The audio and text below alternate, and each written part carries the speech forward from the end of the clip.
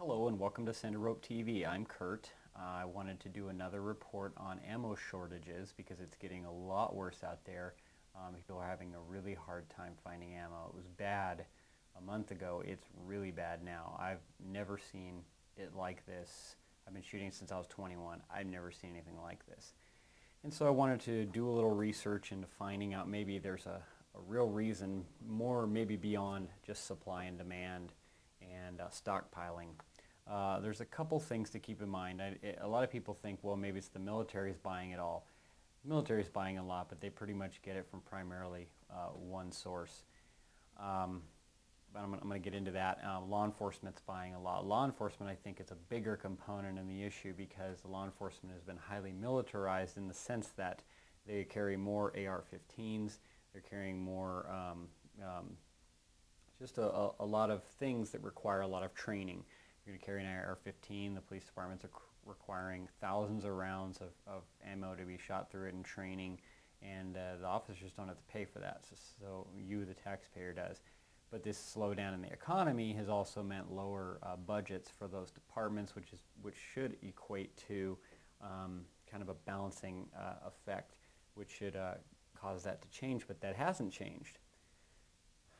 So uh, what's going on? Well, there's a company called uh, Alliant Technology, uh, ATK for short. I went and I'll post the link to their stock press release report, whatnot. Um, they actually produced 1.4 billion rounds of ammunition um, fiscal year 2008. Now, they're the leading supplier. In fact, I want to say they're the only supplier, but they're the leading supplier for the United States military. They operate the Lake City um, operations uh, plant in um, Independence, Missouri. They also operate uh, an ammo plant in Radford, Virginia. Uh, if you have, um, here we go, if you have uh, the Walmart brand uh, Blazer, I think this is the Walmart brand, brand um, also known as um, Speer or CCI. That is something they also produce. They produce the Federal Premium, Fusion, um, Estate, and, uh, you know, uh, and, and, those that I just mentioned. Now, um, they also are, if you have any of these brands, uh, reloading and uh, other types of uh, shooting related accessories, RCBS, um, Outers, Champion, Shooter's Ridge, Weaver, um, Redfield, Simmons, and Nitrex. Um, some of those I don't know what they are, some of those I do.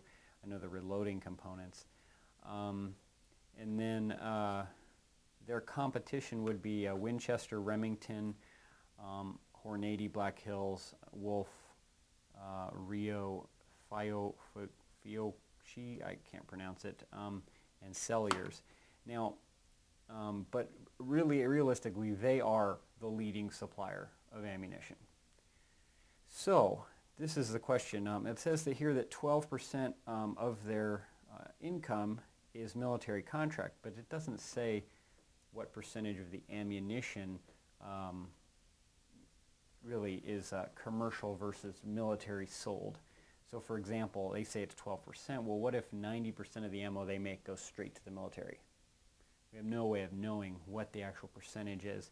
But um, I looked further in it, and as um, you know, some uh, some people I subscribe to, I think some of them subscribe to my videos. Don Harold, uh, Vision Victory. You guys are better on the numbers and the stock and all that kind of stuff. You might want to take a look at this, and maybe see if I was wrong anywhere on this report. But basically, um, they've seen a 15% increase in ammo sales, that's volume, uh, for 2008 uh, versus 2007. Um, and then I started looking into their actual numbers and more than, greater than 50% of those sales was actually civilian sales. So this, uh, this kind of stuff. So um, that's a, you know, that's a significant increase in uh, civilian buying. So no doubt there is some stockpiling going on. And that's frustrating for me because I want to go to the range and I want to shoot my guns and I can't do that. Well, I can, but I don't want to deplete the ammo that I do have knowing that I cannot replace it. And here's the, here's the interesting thing. Uh, wolf, I've got, you can't find wolf. Um, you can probably find a few boxes of Remington here and there, um, but it's so expensive. Um, This is actually a really nice ammo. Magtech. Um, I like it. it. It's really good. Can't find it either. Uh, every single type of ammunition. Um, here, take a look at this. Um, you can see that's the Sportsman's Guide website. Just go look and see if they have any 40 in stock. They have some really oddball, you know, type uh, boxes, but almost nothing. Uh, all of it is back ordered significantly, and um, and that is uh, that's not a good thing when you when you want to go out and be proficient with your weapon, and yet you can't you can't go out. So. I've looked into reloading and you're having the same problem there. All you reloaders out there, I know you're running into the same problem because you can't get primers. Primer box of 1,000 primers used to be $30, now it's $80. Um, so what's, what's going on? Well, there's a couple different things. There's a supply and demand issue. People are stockpiling in fears of the economy, pandemic, uh, Obama, taxes on ammunition, you know, you name it. There's also another component. If the government wanted to create a, um, a, uh, a, bottleneck, which would create a, a significant shortage, not just a shortage, all they would have to do was direct this ATK company and say, look, we have priority, we have a contract with you, we demand that you produce um, 90% of your operations, you be producing ammo for us. Because here's the deal, um, and we've been borrowing uh, ammunition for years with the war in Iraq and Afghanistan from anybody, anybody, Israel, and uh, they have to buy, we have to buy a lot of ammo and ship it over there to replace it. We're also sending it to who knows where. Uh, I was wondering, well, where's this? Where would they? How would they do this? How would they buy ammunition? Well, um, they wouldn't have to buy it to stockpile it. They could just say it's a requirement for the war. It's a requirement for this or that. And it wouldn't take a lot to create a bottleneck. Now, you create a bottleneck with the largest supplier in the United States, the largest manufacturer of ammunition. Um, what happens? All these other companies start getting hit. And these companies are smaller, um, now Wolf's pretty large, but they're overseas, they're Russian, they supply to a lot of different parts, um, and really they make crappy ammunition.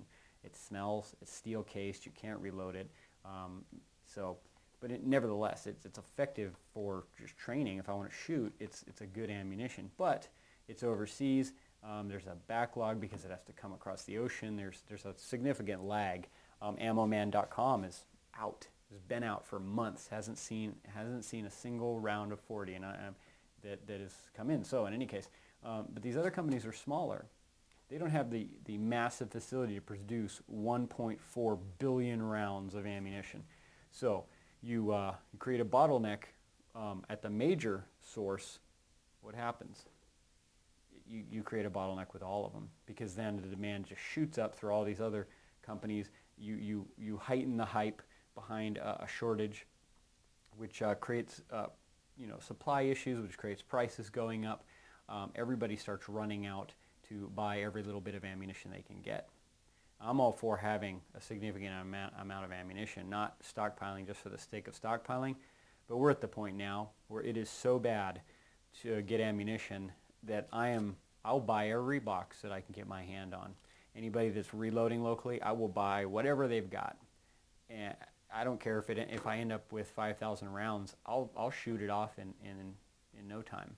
So, but and, and I know a lot of people are the, the on the same page as me on that. But here's the thing. this is what's frustrating me the most is that in in doing this, we are effectively doing what the anti-gun people couldn't have dreamed of with their wildest legislation. Because without bullets, this is a worthless paperweight. And um, they're, they, they're, this is their ultimate goal. I mean, if you restrict ammunition, you, you make a gun a worthless thing. Um, I still, uh, there's 1.4 billion rounds, even if just 10% of that uh, is out there, that's a lot of ammunition. So Um, I don't know what they're thinking that they're they're solving anything by this. They're just making us angry. But that's a little thing, little uh, numbers. I hope that helps. Hope that um, gives you some insight. Um, and uh, if you can, find some ammo.